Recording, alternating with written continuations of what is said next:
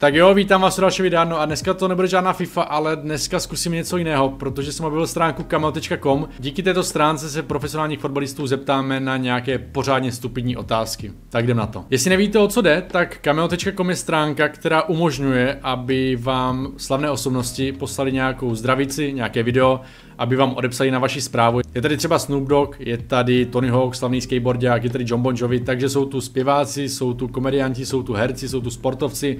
Je tady velké množství slavných osobností, který můžete buď to napsat, a nebo vám za větší poplatek natočit nějaké video. Je to samozřejmě docela drahé, já si teda říkám, jako kdyby tady bylo nějaké nesmyslné množství lajků, třeba 3000, což je naprostý nesmysl, že bych třeba napsal Snoop Doggovi, a nebo že by mě natočil video, což by stalo tak 1000 dolarů, takže to úplně nevím.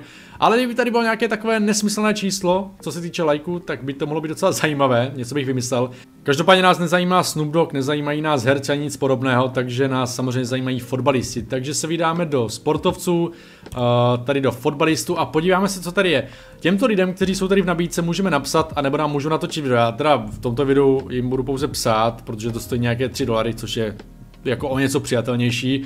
Uh, než abych vyplázel 250 dolarů za to, že mě pozdraví. No a koho tady teda mám? Jako bych byl upřímný, tak tady na mě vykoukli docela neznámí lidé. Jsou tady třeba i fotbalistky, kterých se dá na něco zeptat. Uh, ale podíváme se, co je teda navíc. Je tady Michael Owen, známá to, známá to ikona ve FIFA, známý to fotbalista, držitel zlatého míče. Je tady Nuno Gomes, což je portugalský hráč, to si pamatuju ještě, když hrával. Ale nás samozřejmě zajímá někdo známější, tak se podíváme, co máme dál. Je tady Ian Rush, legenda Liverpoolu, je tady David Seaman, což je známý anglický golman. Uh, jako jsou tady pro mě docela neznámé jména, ale tady už vidím, že je tady Adebayo Akinfenva a to by asi šlo. Takže první, komu napíšem, bude Adebayo Akinfenva, a.k.a. The Beast. Akinfenva si za video říká 50 dolarů a za zprávu 3 dolary, což je docela v pohodě. Musím teda psát zprávy na aplikaci, protože tady to nejde v prohlížeči. Takže první, komu napíšem, bude Adebayo Akinfenva. Dobře, Dále tady třeba Andrej Viaš Boáš, což je dost známý trenér, který naprosto pohořel v Chelsea. Už jsem myslel, že tady Neymar, ale je to jenom nějaký Patrick Ebert. A tady je Roberto Carlos, což je další zajímavé jméno a myslím, že Roberto Carlos, jakožto ikona fotbalu, by nemusel být špatný a napíšem Robertu Carlosovi. Ten chce za video 200 dolarů, což je docela pálka, ale za zprávu jenom 3 dolary, takže 3 dolary v pohodě. Tak jo, a myslím, že vím, kdo bude třetí, komu napíšem a to bude Douglas Costa. Dobře, takže napíšem třem hráčům. Je to Akim Femva, je to Roberto Carlos a je to Douglas Costa. Tak jo, tak já jsem teda v aplikaci a první, koho se zeptáme, bude Roberto Carlos, takže mu pošleme zprávu a Roberto Carlos je známý tím, že měl výborné přímáky. Začneme trochu seriózně, ale i tak je ta otázka docela stupidní. Takže pojďme teda na to. Tak pozdravíme, samozřejmě to je správně. No a otázka zní, how do you take free kicks? Tak, pošlem to a uvidíme, co odpoví. Další, na koho se mrkneme, je Douglas Costa. Uh, on tady má napsané Soccer Juventus. Já si teda myslím, že hraje momentálně za Bayern, ale nechci kecat, ale myslím, že jo. Uh, každopádně v Bayernu hraje i Alfonso Davies, což je teda raketa jak prase. Tak se zeptáme, kdo je rychlejší, jestli Douglas Costa a nebo Alfonso Davies. Hi Douglas. Who is faster, you or Alfonso Davies?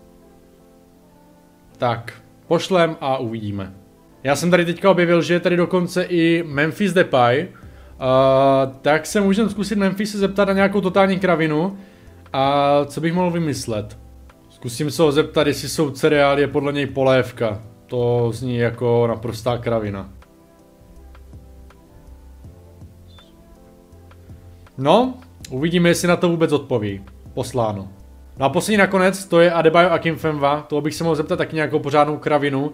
Mně přijde, že ten člověk si umí udělat prdel ze všeho, tak se ho zkusím zeptat, co si myslí o ananasu na pice. How do you feel about putting pineapple on pizza? Tak jo, how do you feel about putting pineapple on pizza? No, tak uvidíme, jaká bude odpověď. Tak jo, mě teďka nezbývá nic jiného, než počkat pár dnů a uvidíme, jestli se dočkám odpovědi, anebo ne. Uvidíme se za pár dnů. Tak jo, tak už je to nějaká doba, co jsem poslal ty zprávy, tak se jdem podívat, jak to dopadlo. Jestli mě teda vůbec něco přišlo, jsem sám zvědavý, jdem na to. Tak jo, vidím, že tady nějaké zprávy mám, to jsem docela rád, že to nebyly vyhozené peníze, tak super, teda ještě nevím, co tam je, že jo. První se podíváme na Roberta Carlose, tak co znám poslal chlapče. Já jsem se optal na to, jakým způsobem zahrává přímáky, a on mě odepsal outside of the left foot. Dobře, to je To je docela šokující odpověď, ne, to je docela jasné. Uh, OK, tak aspoň víme, jak to zahrává a děkujeme. Tak jsem samozřejmě rád, že Roberto Carlos odepsal, výborně. A jdem na dalšího. Tak jo, takhle se Kosty jsem se ptal, jestli je rychlejší on a nebo Alfonso Davies a odpověď je ty. Jako jo, no aspoň tam dal ty smajlíky a jako dobře, tak příští rok asi ve FIFA 99 rychlost, OK, to beru. Tak jo, tak to je odpověď od Kosty. Mrknem se, jestli mě odepsal Depay. OK, tak Depay mě odepsal, ale uh, zas na druhou stranu na tak hloupou otázku asi nebylo možné čekat nějakou odpověď. Tak a poslední pán na holení bude Adebayo Femva. Tak já jsem se optal, jaký má názor, tuším, že tam byl nějak, jaký má názor na, na ananas na pice. Tak co zadepsal? I love pineapple pizza, you heard me right, I love, OK. tak Adebayo Femva má očividně rád ananas na pice, takže výborně. Já docela taky. Napište do komentářů, jestli máte rádi ananas na pice. OK, tak to je poslední odpověď, což je docela zajímavé, to bych nečekal, že to má rád, tak to ví, jako divím se, že vůbec jí pizzu. Uh, každopádně jo, tak to byly teda odpovědi na mé stupidní otázky.